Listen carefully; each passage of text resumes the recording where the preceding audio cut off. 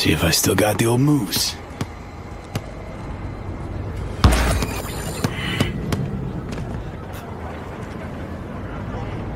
Nice. Might not get your ass handed to you after all. To us. Whoa!